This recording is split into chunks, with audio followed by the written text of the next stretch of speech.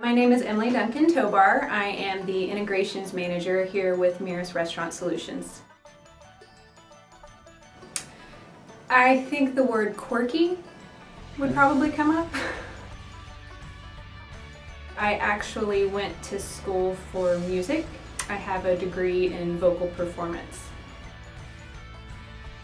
Mirus allows restaurant operators to look at um, their stores sales all together in one place.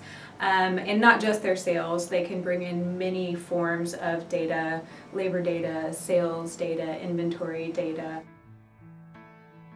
With exception based reporting it allows you to easily hone in on the outliers. So you can set very specific parameters around something that may be a trouble area um, of, of your operation and get a report that comes to you with just the data that fits those parameters. So just employees who are working more than eight hours in one shift, if that's an important factor to you. Exception-based reporting really allows for that without having to go through every store, every employee, every punch. It gets you right to, right to the meeting, right to the point. My role is to take on new accounts, so someone who's just become a client and take uh, get everything set up so that we can feed the data from their point of sale system into Mirus. Um, I also work with the clients to validate the data to make sure that everything ties out because really the most important thing for the client is that they believe in the numbers. I worked for Howl at the Moon, which is actually um, a piano bar.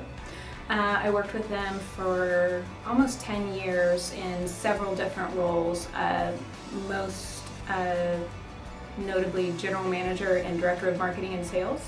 So within those roles I did a lot of reporting which definitely speaks to what we do here at Mirus.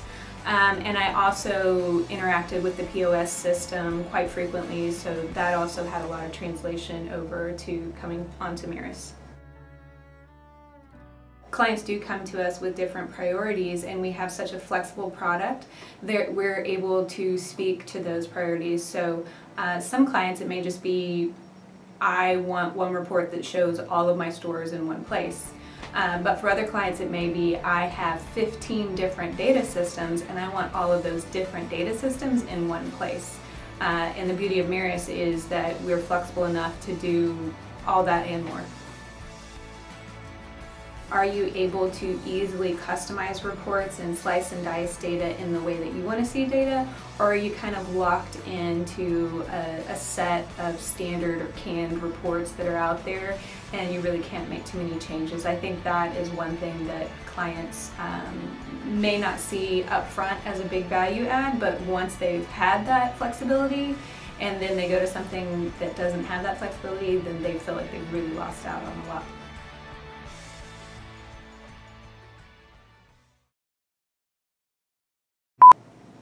How would you simply describe Mirus to someone who... Well, my bubbles started going crazy. They start out slow and then after about 30 seconds they just uh, go... Yeah. It just like geeks out and... um,